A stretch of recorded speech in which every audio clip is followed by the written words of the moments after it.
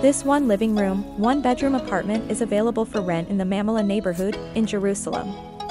It is on the ground floor, completely furnished.